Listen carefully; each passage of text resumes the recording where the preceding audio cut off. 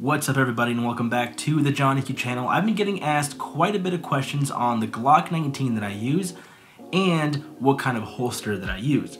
So in this video I'm going to show you both of those things. Let's get into it. But before we get into the video I want to show you something. Hold on, hold on.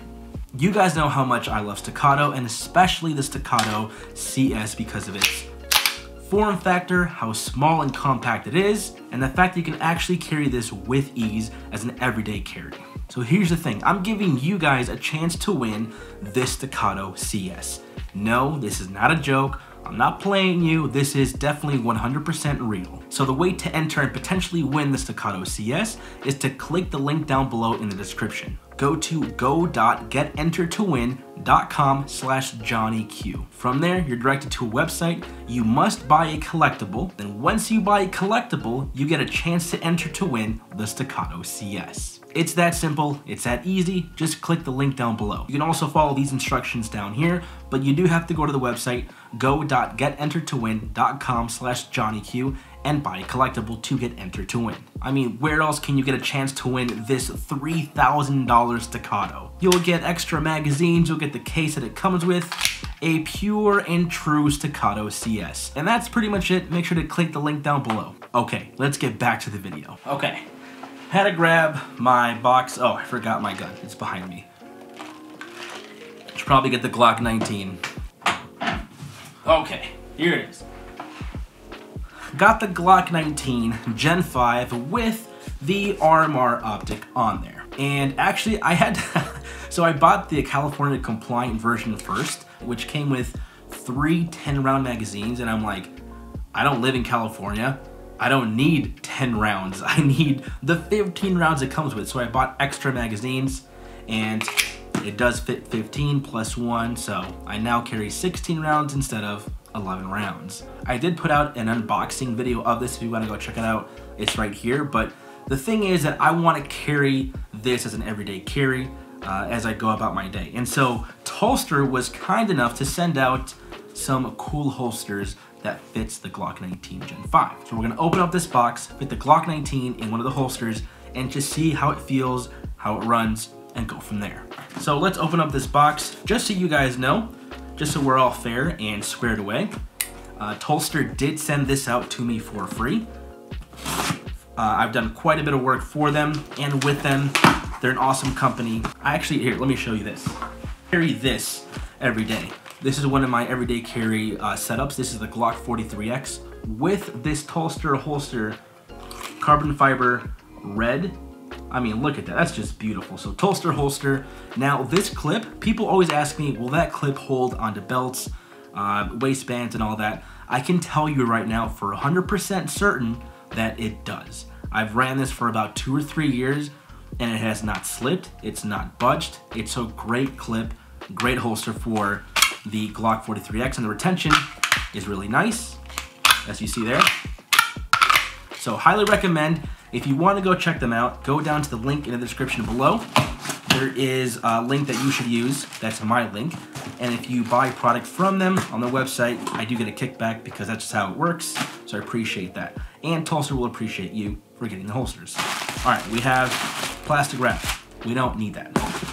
We have one, two, we have three holsters. All right, let's open up the first one. Yeah, I actually want to, let's see, is this it? Which one do I want to carry? Mm.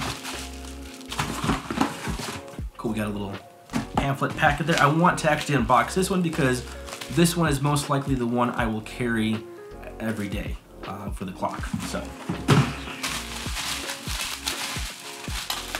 open this. Oh, yes. This holster right here is called the Oath by Tulster, and it's very, as you can see here, very sleek, compact. It'll sit in the waist very well and won't, you know, tug on the side of your body as much.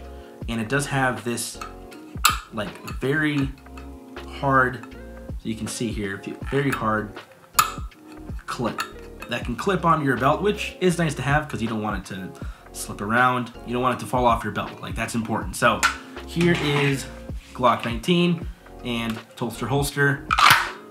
Just like that. It fits smoothly, fits like a glove, and that's what it looks like. Now let me grab the other two real quickly. This one right here is called the Arc, and this one that I showed earlier in the red is called the Profile inside the waistband holster. So here's the Arc, and just like that, uh, the difference between the Arc and something like the Oath is this right here. You can kind of see that. The Arc kind of brings the holster all the way up to the slide versus the Oath kind of leaves it a little bit open on top of the slide there. So it isn't too bad. I mean, it is exposed just a bit. Can conceal this a little bit better, kind of lower into your waistline. So I'm actually going to grab the arc and I'm gonna try to fit it uh, on my waistband. So I have it on my waistband. I'm carrying 12 o'clock, just like this. I mean, can you tell I'm even, I'm even carrying a gun on me? I don't know, probably not.